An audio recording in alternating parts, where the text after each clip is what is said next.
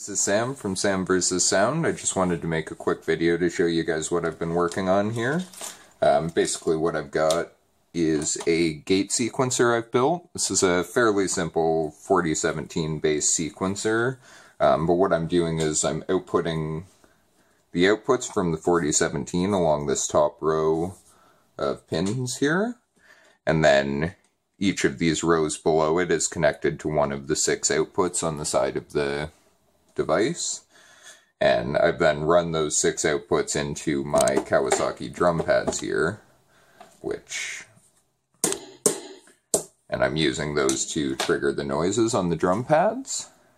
And then I've also got just your standard, I've got a rate select here, which will change the speed, and also a step selector, which selects the number of steps.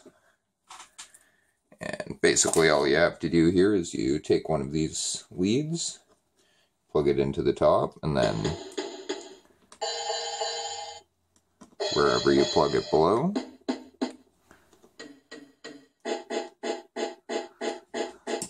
that selects the noise that it's going to make.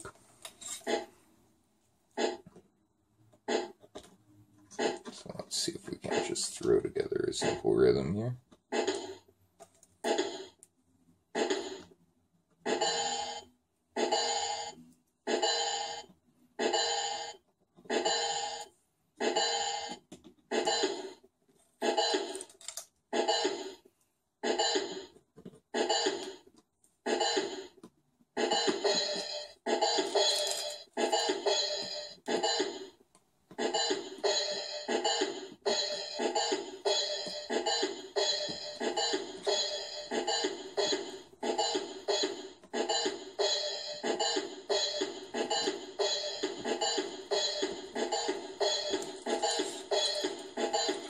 There we go.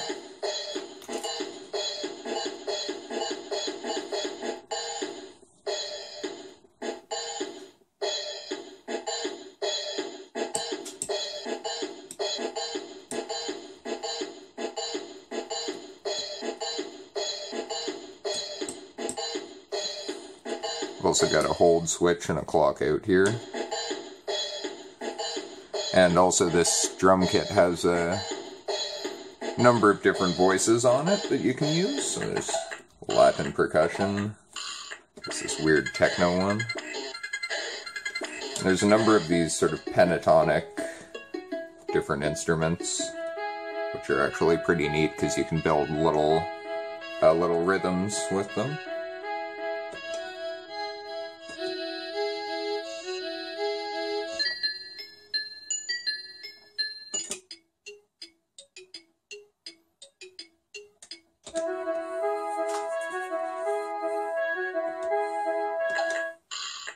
Now, I haven't as yet done any circuit bending on the drum kit outside of the addition of the triggers.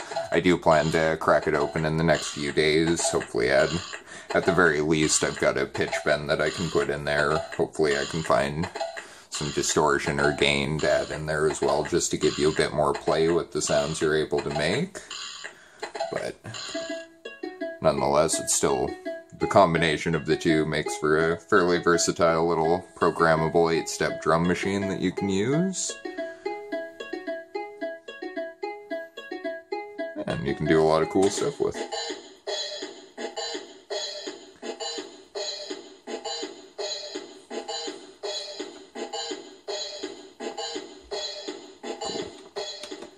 Alright, so that's what I've been working on lately. Um, if you want to see any schematics, descriptions of the build, tutorials, just head to, over to my blog at samversussound.com, and all that information's available there. Thanks for your time, and have a good one.